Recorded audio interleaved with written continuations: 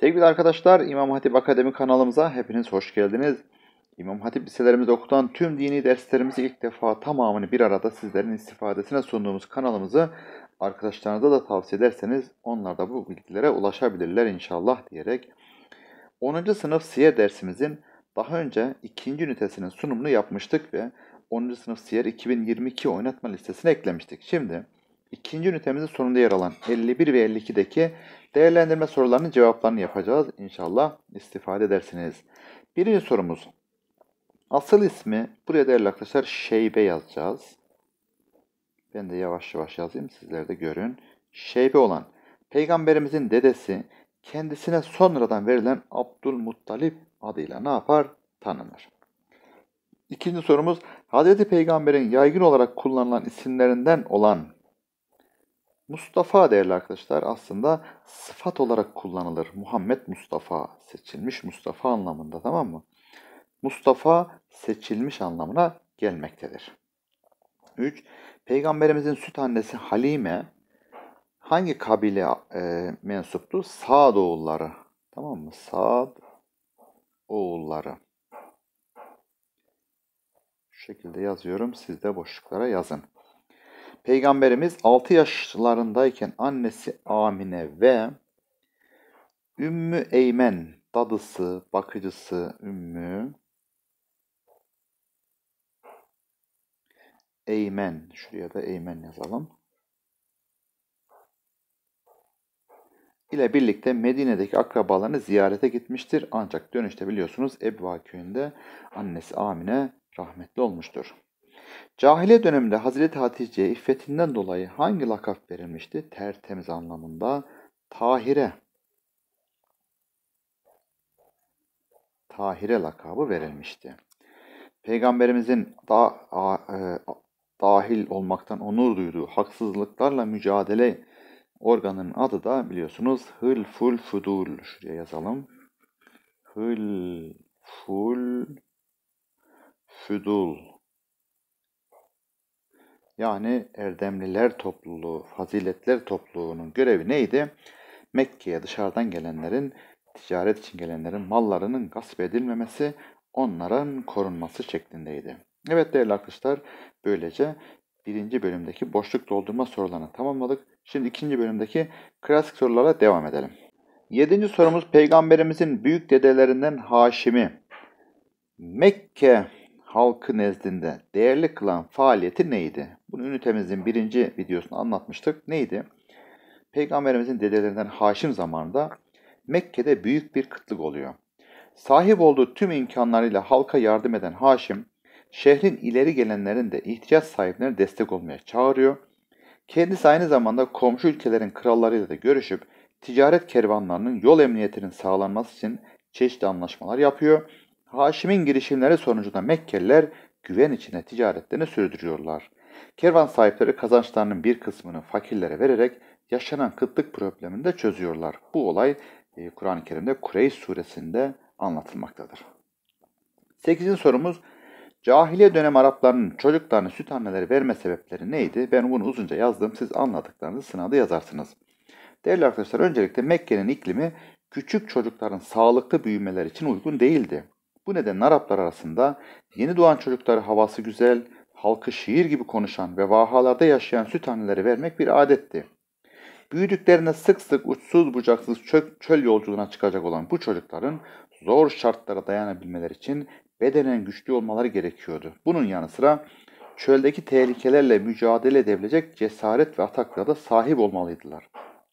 İşte bütün bu özellikler çoğunlukla şehir şartlarında değil, köy ortamında doğayla iç içe yaşamakta kazanılabilirdi. Çölde yaşayan hanımlar süt annelik yapmak üzere şehirlere gelir, yeni doğan çocukları alıp köylerine dönerlerdi.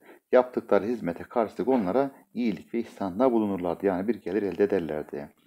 Peygamberimizin doğduğu günlerde Taif tarafında yaşayan Sağdoğullarından bazı hanımlar bu amaçla Mekke'ye geldiler.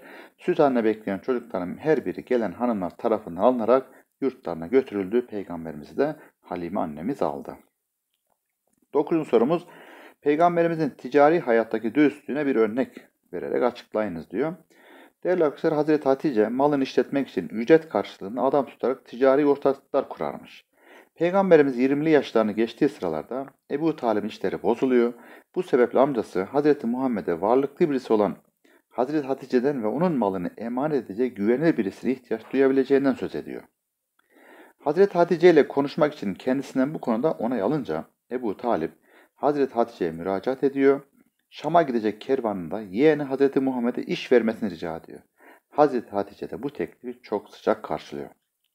Hazreti Hatice dürüstlüğü ve ahlakı hakkında bilgi sahibi olduğu Hazreti Muhammed'in yanında yardımcısı Meysere'yi de görevlendirerek belli bir ücret karşılığında daha önce hiçbir ortağına emanet etmediği kadar fazla mal ile Şam'a uğurluyor.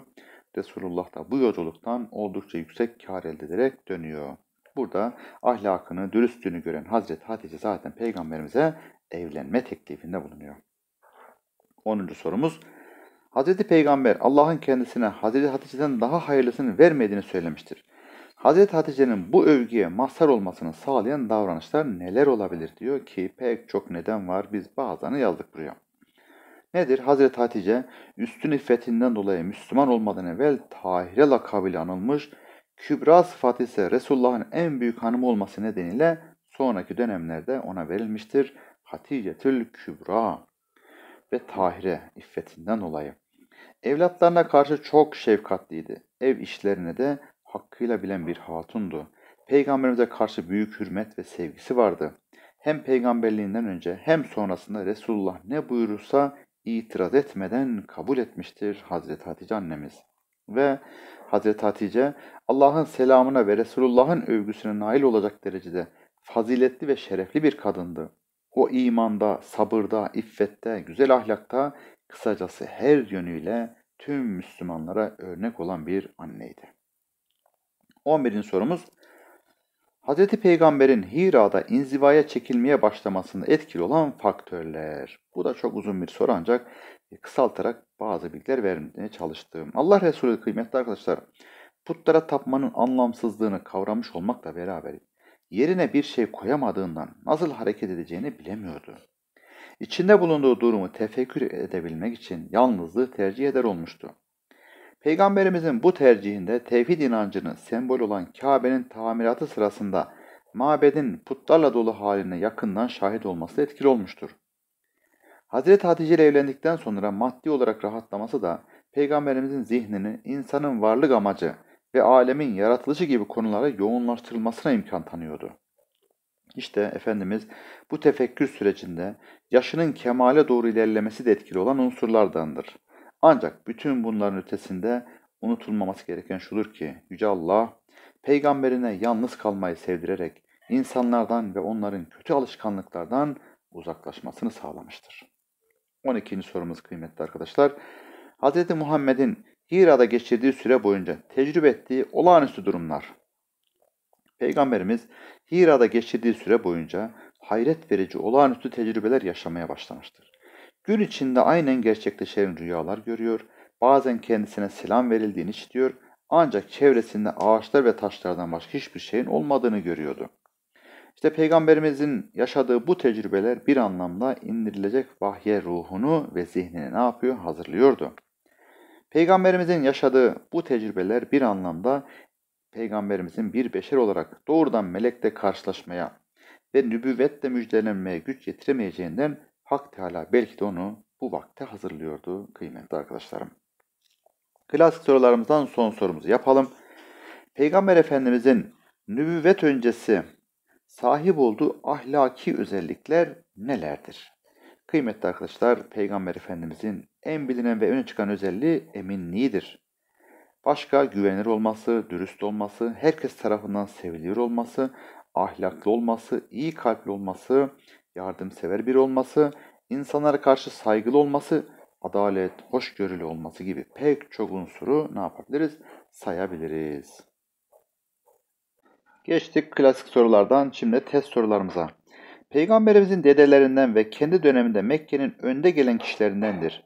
Ebrehe'nin yüzyıllar önce Kabe'yi yıkmak maksadıyla Mekke'ye gelen Yemen kralı Hassan bin Abdülkülal'ın ordusunu bozgun uğratarak Kabe'yi korumuştur. Bunu ünitemizde konu anlatımında değinmiştik değerli arkadaşlar. Paragrafta tanıtılan kişi kimdi? Değerli arkadaşlar bu Fihr bin Malik'tir. Ebrehe'den daha önce Kabe'yi yıkmak üzere gelen Hasan bin Abdülkülal'ın ordusunu bozguna uğratmıştır ve Kabe'yi korumuştur. 15. Peygamber Efendimizin annesinin ve babasının kabileleri aşağıdakilerden hangisinde doğru olarak verilmiştir? Annesi değerli arkadaşlar Zühreoğullarıdır. Babası da Haşimoğullarıdır. A şıkkımız doğru olduğu için işaretleyip geçiyoruz. 16 ve 17 yapalım. 16. soru. Ebu Talip 12 yaşında olan peygamberimizi de yanına alarak Şam'a giden bir ticaret kervanına katılmış ancak bu sırada konakladıkları sırada Şam'a gitmekten vazgeçip mallarını orada satarak Mekke'ye dönmüştür. Ebu Talib'i Şam'a gitmekten vazgeçiren olay neydi değerli arkadaşlar hatırlayalım. Şam'daki Yahudilerin yeğenine zarar vermesinden çekinmeleri. Çünkü bir din adamı orada ne yapmıştı bu sırada? Rahip Bahira demişti ki bu çocukta olağanüstü mucizeler var. Son gelecek peygamber budur. Dolayısıyla Şam'a Şam'da bu çocuğa zarar verebilirler. E, hemen işlerini tamamla geri dön demiştir ve Ebu Talip de denileni aynen yapmıştır. 17. Peygamberimizin çocukluk yılları ile ilgili olarak aşağıdaki verilen bilgilerden hangisi yanlıştır? Bakalım. Peygamberimiz 4 yaşına kadar süt annesinin yanında kalmıştır. Evet önce 2 yıl daha sonra 2 yıl daha uzatılmıştır biliyorsunuz veba salgınından dolayı 4 yıl. Peygamberimiz çocukken yüzmeyi öğrenmiştir. Evet. Peygamberimiz dedesi, peygamberimiz özel olarak ilgilenmiş. Tabi 6 ile 8 yaş arasında dedesi Abdülmuttalip bakmıştır. Peygamberin çocukluğunda çobanlık da yapmıştır amcası Ebu Talip'in yanında. Peygamber 4 yaşından itibaren amcasıyla yaşamaya başlamıştır. Hayır, 8 yaşından 25 yaşına kadar amcasıyla yani 17 yıl amcası Ebu Talib'in yanında kalmıştır. Cevabımız Edirne. 18. sorumuzdan devam ediyoruz kıymetli arkadaşlar. 18 sorumuz. Bakalım bizden ne istiyor. Evet. Zengin bir hanım olan Hazreti Hatice kendisine yapılan pek çok evlilik teklifini geri çevirdiği halde Hazreti Muhammed'e kendisi evlilik teklif etmiştir. Hazreti Hatice'nin bu kararına Hazreti Muhammed'in hangi özelliği etkili olmuştu? Tabii ki onun güzel ahlakı değil mi? Cevabımız direkt Bursa. Hazreti Peygamber ev halkına işlerinde yardım eder, söküğünü kendi diker, ayakkabısını tamir eder, ezanı duyunca da mescide giderdi. Hadise göre aşağıdaki ifadelerden hangisine ulaşabiliriz? Hazreti Peygamber kimseye yük olmazdı. Evet, direkt cevabımız Adana şıkkında geldi. 20. soruyla devam ediyoruz kıymetli arkadaşlar. Peygamber Efendimiz hakemliğiyle çözüme kavuşan Kabe ile ilgili problem aşağıdakilerden hangisidir diyor. Kabe'nin ne zaman tamir edileceği değil, Kabe'nin tamir için gerekli malzemenin nereden alınacağı, Kabe'nin tamiratının hangi kabilenin başlayacağı, Hacerül Esved taşının hangi kabile tarafından konulacağı. Biliyorsunuz savaş çıkmak üzereyken Peygamberimiz ridasını, örtüsünü yere seriyor, taşı üzerine koyuyor. Her kabile bir ucundan tutarak Hacerül Esved'in konulacağı yere geliyor ve Efendimiz taş alıp olduğu yere yerleştiriyor. Böylece Kabe hakemliği meydana gelmiş oluyor ve çok meşhurdur bu olay. 21. sorumuz Hz. Peygamber doğduğunda kendisini emziren Süveybe Hanım'a, süt annesi Halime Hanım'a ve dadısı Ümmeymen'e her zaman hürmet, göster hürmet göstermiş, onları gözetip kollamıştır.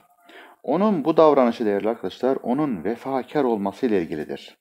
Ümmeymen dadısı, ilk süt annesi biliyorsunuz Süveybe, daha sonra da Halime Hatun peygamberimizin anneleri sayılan onların bakıcısı oldukları için vefakardır onlara karşı Efendimiz Aleyhisselatü Vesselam. Kıymetli arkadaşlar bir metin veriliyor. Burada peygamberimizin çocukluğundan gençliğine, ticaret hayatından evlilik hayatına, bireysel ilişkilerine, sosyal ilişkilerine kadar onun diğer insanlardan en önemli farklı dürüstlüğü, güvenilirliği gibi meziyetleriyle ahlaki yönden son derece mümtaz bir mevki elde etmesidir. O sahip olduğu ahlaki güzellikleriyle Mekke'de kendini topluma kabul ettirmiş, saygın ve olgun bir şahsiyet olarak vicdanlarındaki hak ettiği yeri almıştır. O, Mekke'deki itibarını mali, siyasi, askeri veya dini yönüyle değil, tamamen ahlaki yönüyle hemen herkese kabul edilen güvenilir, tutarlı şahsiyetiyle yükseltmiştir. O kadar ki onun bu ahlaki yönü yakın çevresi tarafından tasdik edilmesinde en önemli bir delil olarak görülecektir.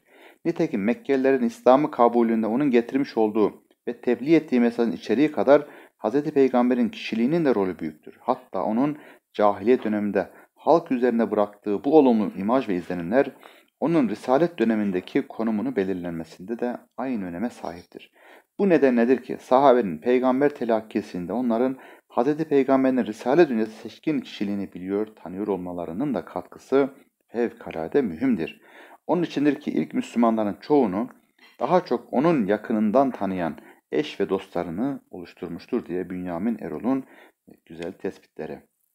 22'de soruyor ki Mekke toplumunda itibar sahibi olmak için gerekli görülen vasıflar ile Hz. Peygamber'in mevcut özelliklerini karşılaştırarak onun toplum nezdindeki konumunu açıklayınız diyor. Kıymetli arkadaşlar buranın cevabı e, yukarıdaki bakın ilk baştan başlayacaksınız. Şuradan başlıyoruz. Şuraya kadar. Bunun cevabı burada saklı. Tamam Peygamberimizin ahlakının yüce olması, Mekke'deki insanların peygamberimize güveniyor olmaları diye başlayan paragrafımızı oraya yazıyoruz. Diğer sorumuzda ise Hz. Peygamber'in nübüvvet öncesi ahlaki özelliklerin tebliğ sürecinde katkısı nasıl olmuştur diyor. İşte buraya da hattadan sonraki kısmı yani şuraya. Cahiliye döneminde halk üzerinde bıraktığı bu olumlu imaj diye başlayan kısmı da aşağı kısma yazdığınız zaman doğru cevabı bulmuş olursunuz. 24. sorumuzla devam edelim. Son sorumuz. Metinden çıkarılabilecek en kapsamlı yargı hangisidir diyor. Hz. Peygamber'in dürüstlüğü, güvenirliği onun tasdik etmesinin etkili olmuştur. Cevap direkt Adana. Bunun bu cümleyi de şuraya yazdığınız zaman aslında cevabı doğru düz bulmuş oluyoruz. Değerli arkadaşlar böylece siyer dersimizin ikinci ünitesinde sonunda yer alan soruları YouTube'da ilk defa tamamını sizlerin istifadesine sunduk. Arkadaşlarınıza da tavsiye edin. PDF'lerini de yayınlayacağız. Oradan çıkararak çalışın inşallah. Bizlere de dua edin diyoruz ve hepinizi Allah'a emanet ediyoruz. Kalın sağlıcakla.